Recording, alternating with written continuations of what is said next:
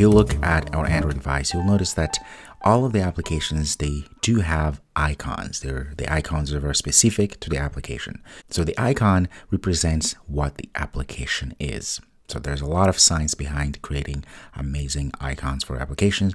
You can actually do a little Google research on how to create stunning and meaningful app icons. As we've been creating applications, you notice that all of the project that we've been creating, they are given a default icon. So usually it's something like this, as you can see there.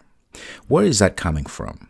Well, let's look at our project here. This is a self project. If you go to project and we go to resources, close this down.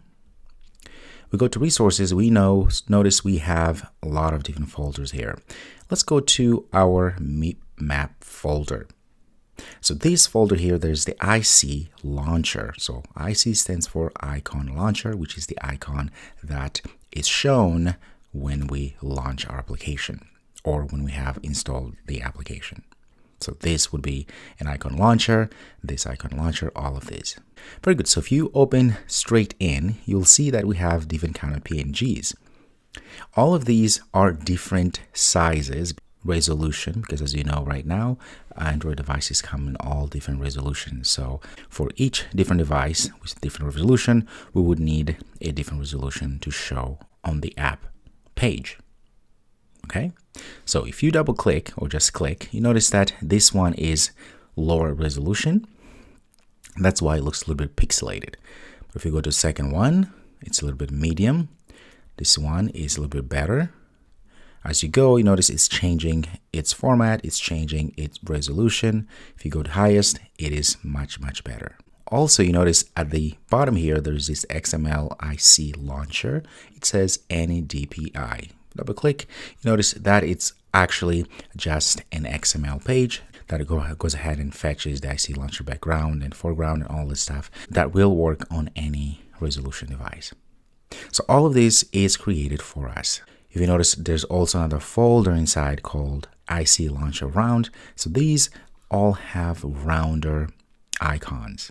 So the same icons we had there, but this time they're all rounder. All of these folders are called on runtime automatically by the operating system and fetches the correct image resolution for the device. So I'm going to show you how can we create our own icons for our application. So I have a website here by Roman Nurik. He's another Google superstar. Show a little bigger and it's called Android Asset Studio. So this is a collection of tools to easily generate assets such as launcher icons for your Android app. So there's a few here. So there's Android icon generator or launcher icon generator. There's app shortcut generator, shapeshifter, and there's generic one and so forth. At this point, we're interested in launcher icon. So I'm going to right click, open a new tab, and right there, you can see that you have an option to actually start designing your own icon. The beauty about using these tools is that it takes care of all of these different resolution. All we have to do once we have designed our icon, we're just going to go ahead and download a zip folder, which will have the structure that we need to, which is then take that and drop in our project and we're done. Okay, so in this case here, I can, for a foreground image, I can add image from my computer, right, if I already have one, or I can just use a clip art. So this all of this comes from Material Design Icons on GitHub. So if you want to learn more about it, you can just click there and go there. Suppose that I just want to find something. Let's say I can find person like that, or I can say flower. There is a flower. I'm going to click on that and I can come down here and change the padding of our icon background. So the less padding, of course, the bigger it shows. I can just keep it there. I can go ahead and change the background color. Look at that. I can pick that something like that, or I can use this picker here to change the colors. I like that color. I can make it crop, or I can put it center. That looks real good. And I can make the shape either circle or square or none. In that case, we all have just the icon like that or tall rectangle like that. So there's all of these different shapes. Of course, you will have to adjust accordingly. So at this point, let me go ahead and keep using the square or perhaps circle. How does that look? Not too bad. Okay, and I can add some effects. I'm going to elevate the shadows like that or add a score at the top. I like this cast shadow. Okay, and the name is going to be IC Launcher. You can change it to something else, but I like to keep it that way because Android Studio will know exactly what to do with these images. Also notice I can get rid of the grid. This will only be here for us to design our icon. Okay, so I can change to don't trim or trim as well. And you notice I can also change uh, to text if I don't want to put anything in there. So if I say something like self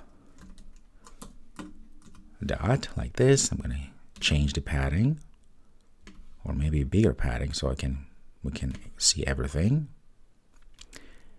help if I am actually able to write it the correct way, self like that. And I can also go and find all of these different fonts that I can play with like that. I can change the color of the actual text like this.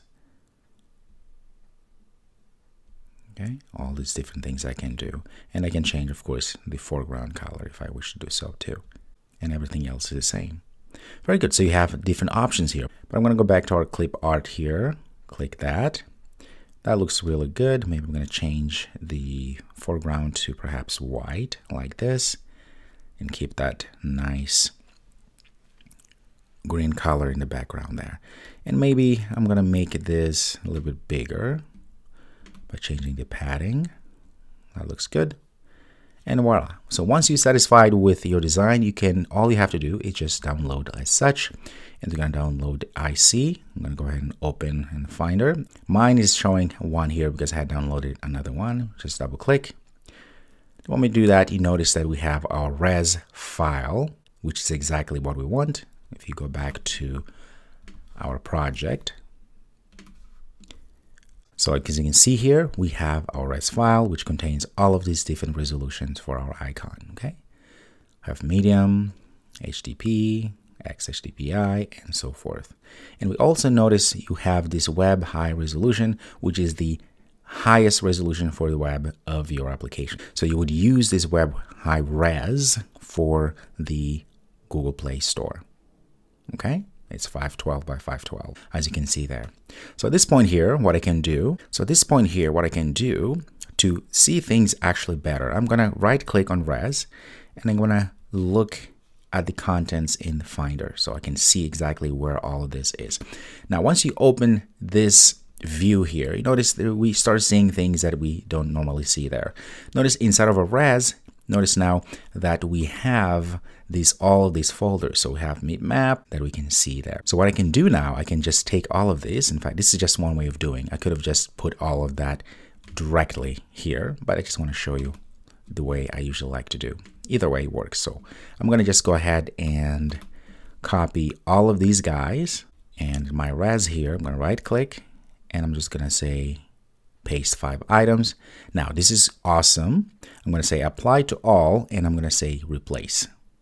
This goes ahead and replaces all of the images and folders. come back here, you'll notice if you go to map again, look at that. Now I click here, notice it changed everything for us. We don't have to do anything. Even out here, it goes and gets everything for us. Okay, very good. So at this point here, if I run my app again, it's going to run. Very good. It looks great. But most importantly, I'm going to get out of it. And if we go to our apps, you'll see we should have, if all goes well, look at this. Now we have ourself with this nice icon here. At this point here, we have a very professional icon. If you click on it, it's going to launch our application.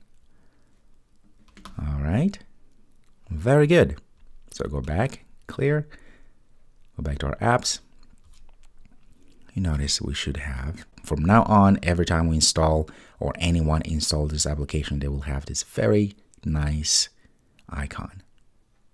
Good. What I want you to do is to use this tool that I showed you here from Android Asset Studio and create an asset like this, create an icon, and then transfer all of that to the project and see how that all looks like.